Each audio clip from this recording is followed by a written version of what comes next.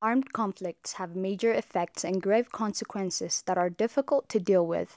During armed conflicts, civilians suffer from death, displacement, sexual violence, destruction of facilities, diseases, and so on. The occurrence of an outbreak is one of the major consequences of war. All around the world, several outbreaks were recorded following or during armed conflicts. In 2001, for instance, more than half of outbreaks of international importance occurred in conflict zones. In Afghanistan, malaria was well controlled before civil strife began in 1979. However, after the start of the conflict, the disease has resurged with 2 up to 3 million cases per year. According to a study by Frontiers in Public Health, there was a surge and intensification of armed conflict in Libya, Syria, and Yemen particularly in the first 4 up to 6 months of the spread of COVID-19 pandemic. This resulted in a hidden spread of the pandemic during the early stage, which was exacerbated later, resulting in a high number of infected cases. And this led to a large number of otherwise preventable deaths as the healthcare system in these countries were targeted during the conflicts. 4 years ago,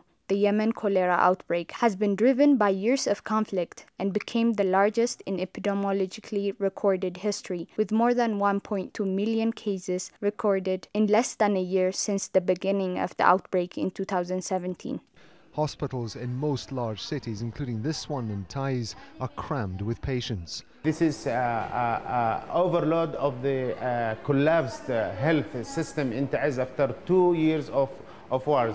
Another example is the conflict in Democratic Republic of Congo. The 2018 up to 2020 Ebola epidemic in Democratic Republic of Congo was declared a public health emergency of international concern by WHO. With the conflict complicating containment efforts, thousands of people died due to the outbreak. Conflict-related displacements complicated the tracking of cases and increased the risk of spreading the disease within and beyond Ebola-affected regions. Key violent events such as mass killings, deadly attack on Ebola treatment centers correlated with increased infections and fatalities. Weakened operational capacity of health facilities also added to the disaster. Earlier this month, a treatment center in the city of Butembo was attacked twice within days.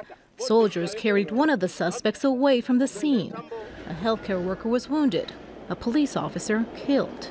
The conflict in Tigray has caused a devastating impact on the formerly growing healthcare system. During the first eight months of the year and a half long ongoing deadly war, health facilities all around Tigray were deliberately looted, vandalized, and destroyed by Ethiopian and Eritrean forces as part of their genocidal campaign. Since June of last year, Tigray continues to suffer under brutal siege imposed by the Ethiopian and Eritrean governments, blocking food, medicine, and other essential items from getting into Tigray. Due to this and the disruption to route vaccination, children in Tigray are under enormous threat. As confirmed by a WHO report, over 200,000 children in Tigray have gone without vaccine in the past year. This means the lives of newborns and children under 5 years are at risk as they are prone to infectious diseases that are leading to a high rate of mortality and a long-term disability like blindness, deafness and the like. ሳውን ብላዕሊ እያ ተቐመጥ ማለት እዩ ሚዝል እንድሕር ሃልዩ እውን ብላዕሊ ይቕመጥ ሚዝልና ብስጂ ፖሊዮ ብላዕሊ ንቐመጥ ኣብዚ ኣብ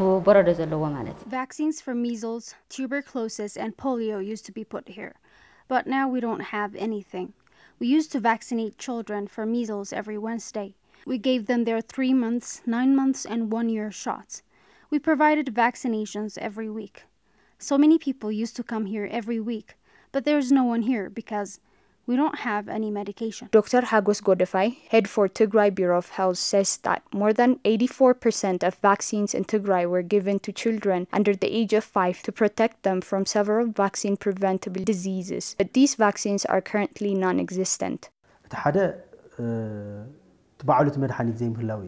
There are multiple reasons there is no medication. No vaccines have been available for the past 17 months apart from some cities. In rural areas where much of the population is found, there are no vaccines available. This is primarily because the Ethiopian government had not made them available. The termination of vaccines, poor nutritional status due to the man made starvation, and the collapse of public health infrastructures might lead to the unfolding of catastrophe, and many fear that such a catastrophe in one corner might spill over to the already trembling region. Understandably, the international community and organizations such as the WHO need to do preventive works before the much feared catastrophe claims the already starving lives.